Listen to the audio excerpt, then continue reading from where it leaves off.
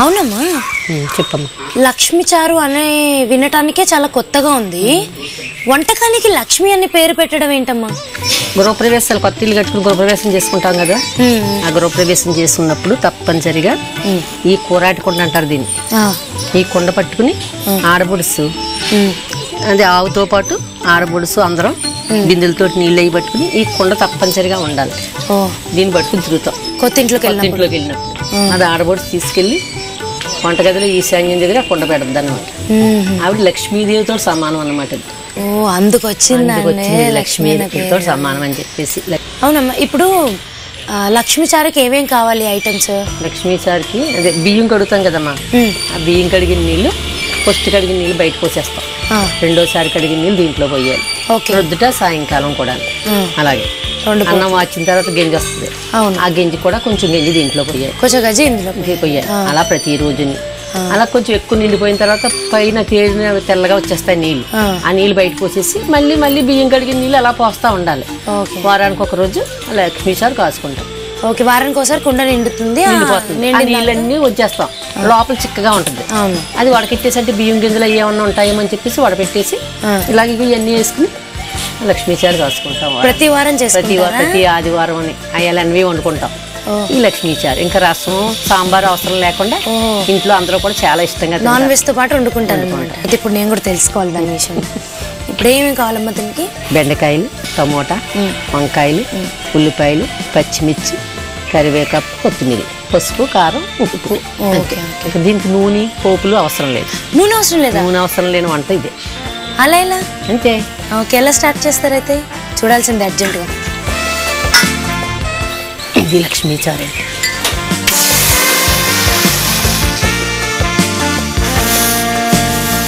నేను అదే చూస్తున్నా నూనె లేదేంటి అని. దీనికి నూనె అవసరం లేదండి ఇది పోసుకున్నాం కదా ఇలా చిక్కగా వస్తుందా? పసుపు వేసుకోవాలి. ఫస్ట్ పసుపు వేసుకుంటున్నారు. ఇది పచ్చగా ఉంటుంది కొంచెం ఎందుకని కొంచెం పసుపు ఎక్కువ వేసుకోవాలి. ఓకే. ఉల్లిపాయలు. ఉల్లిపాయలు. కట్ చేయాల్సిన అవసరం లేదు కదా? చిన్న ఉల్లిపాయలు అయితే కట్ చేయక్కర్లేదు. పెద్దవైతే కట్ ఇది బెండకాయలు బెండకాయలు టమాటా.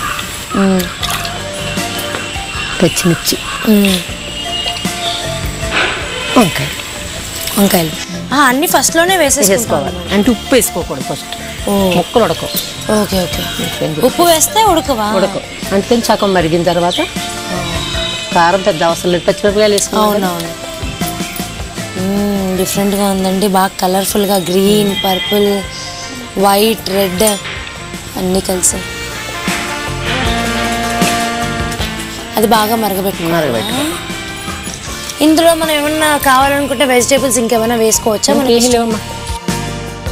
ఇప్పుడు అన్నీ వేసేసుకున్నాం కదా ఉప్పు తప్ప. ఇంకా కొత్తిమీర కరివేపాకు వేయలేదు వేద్దాం. ఇది కుండ నిండాక వేసుకోవచ్చా? అంటే మీరు మామూలుగా ఆదివారం వేసుకుంటారు. ఎప్పుడన్నా మామూలుగా చేసుకోవచ్చు కదా. మరి ఇంట్లో మెంబర్స్ ఎక్కువ ఉన్నారనుకో బియ్యం ఎక్కువ వండుకుంటారు కదా వాళ్ళు. అలాంటప్పుడు ఎక్కువ వస్తాయి. ఎక్కువ ఎక్కువ. ఎక్కువ వస్తే నాలుగు రోజులకి మూడు రోజులకి కాసేసుకోవచ్చు. చేసుకో చేసుకోవచ్చు. ఏంటంటే మేము అలాగ ఆదివారం అంటున్నాం ఇంకా అలా అలవాటు అయిపోయింది ఇంకొట్టప్పుడు అన్ని వారాలు ఎక్కువ. పెద్ద వారాలప్పుడు లక్ష్మీ సార్ వేసుకోం. ఓ. ఇంక వారాలు Sunday చేస్తాం. మాత్రం. ఆ, అంతే అంటే లక్షవారం శుక్రవారం శనివారం సోమవారం ఎన్ని వారాలు చేస్తాం పూజలు. ఇంకా రోజు ఏ ఉంటాయి? ఇంకో పప్పులు అవి వండుకుంటాం కదా. ఇంకేంటో ఆదివారం అన్ని ఈ కూరలో ఈ లచ్చించారు. బాగా అలవాటు. ఇంకా అలాగే ఆదివారమే కాస్తా. ఇలాంటి సాంప్రదాయమైన వంటలు అంటే మీకు చాలా ఇష్టం చాలా ఇష్టం అమ్మా మన సంక్రాంతి వచ్చిందా. మనోళ్ళు వస్తారు కదా పండక్కి? పాప అల్లుడు మనోళ్ళ అల్లుని అమ్మమ్మ మాకు అరిసు అరుసులు కావాలి. నువ్వు పప్పు అరుసులు అంటే అరుసులు పోకుండలు జంతికలు గోధుమ సున్నుండలు మామూలు మినప సున్నుండలు. ఇటువంటి వాళ్ళకి కావాల్సినవి అన్నీ కూడా వండేది. ఉమ్, అలాంటివి అంటే ఇష్టం. మొదట భోగి రోజునేమో అత్తీసలన్నం పచ్చి పులుసు మరి బాగా సందడిగా ఉంటుంది కదా పండగ రోజు ఇంటికి ఇందులో మాకు కొత్తపేటలో చాలా సందడి. మా పెద్ద పండుగ రోజు మందుకాయలు పది ఉంటుంది ప్రభల తీర్థం. చాలా గొప్పగా ఉంటది చాలా సందడి ఇంకా. మేము కూడా ఎంత వర్క్ చేసినా ఏం చేసినా ఎప్పుడెప్పుడు పండగ వస్తుందా? ఎప్పుడు లీవ్ పెట్టుకొని వెళ్ళిపోదామా? అని వెయిట్ చేస్తూ ఉంటాం. అందరూ కలిసి అలా చక్కగా అమ్మమ్మ తాతయ్య మనందరూ అందరూ కలిసి కదా చాలా బాగుంటుంది అవును వంట చేసుకుని ఒక్కొక్కరు ఒక్కొక్క పని చేసి అసలు మా వీధులన్నీ కూడా ఖాళీ ఉండవు ప్రభలో ఇంకా బ్యాండ్ మేళాలు. ఇవి బాబు చాలా ఆడవిడగా ఉంటుంది అమ్మ రెండో రోజు పెద్ద పండుగ రోజు. చాలా సందడిగా బాగుంటుంది. ఎప్పటికీ వన్ ఇయర్ ఎంత ఉన్నా ఒక్క మూమెంట్ కోసం ఎప్పుడు వెయిట్ చేస్తూ ఉంటాం ఇది ఉడుకుతుంది? ఉడుకుతున్నా ముక్కలు బాగా ఉడకాలి ఉడకాలి. ఈ ముక్కలు కొంచెం మెత్తగా ఉడికితే టేస్ట్ ఇంక ఉడికిపోయినట్టే కాగితం మీరు ఇదే సాంప్రదాయం మీ కోడలికి కూడా నేర్పించారా? నేర్పించానమ్మా. మేము అందరం కలిసే ఉంటాం.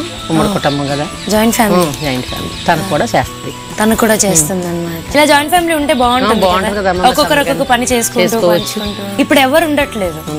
అంటే వర్క్ పని మీద అది ఇచ్చి వెళ్ళిపోతారు బాబు అయితే బిజినెస్ అందుకు మేము వాళ్ళ నాన్నగారు ఇద్దరు బిజినెస్ అందరం కలిసే ఉంటాం.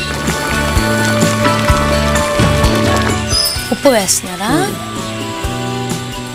ముక్క ఉడికిందో లేదో చూద్దామమ్మా.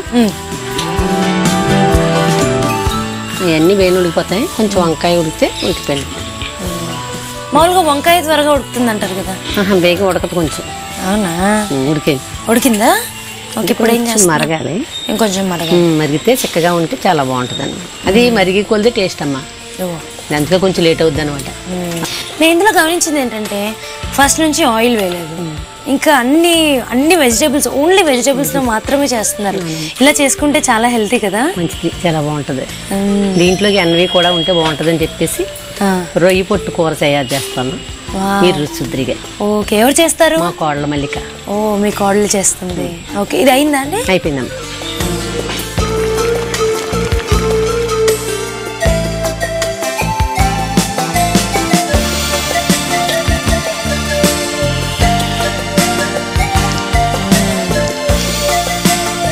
బాగుందండి. అన్ని వెజిటేబుల్స్ వేశారు కదా. డిఫరెంట్గా ఫ్లేవర్ వస్తుంది కమ్మగా.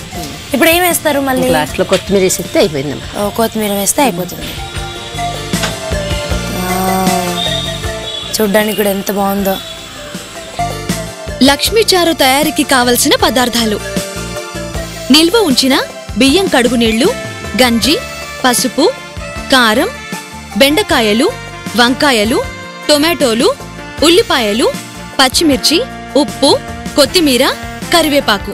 లక్ష్మీ చారు తయారు చేసే విధానం. ముందుగా పొయ్యి మీద గిన్నె పెట్టుకోవాలి. అందులో వారంగా సేకరించిన బియ్యం కడుగు నీళ్ళు పోసి కొంచెం పసుపు వేసుకోవాలి. తర్వాత అందులో బెండకాయలు వంకాయలు టొమాటోలు చిన్న ఉల్లిపాయలు పచ్చిమిర్చి వేసుకోవాలి. తర్వాత అందులో కొంచెం కారం వేయాలి. అలా కాసేపు అందులో వేసిన కూరగాయలు ఉడికే వరకు మరగనివ్వాలి. తర్వాత దానిలో సరిపడా ఉప్పు వేసుకోవాలి. చిక్కగా అయ్యే వరకు మరగనిచ్చి అందులో కొంచెం కొత్తిమీర వేసుకుంటే లక్ష్మీ చారు రెడీ.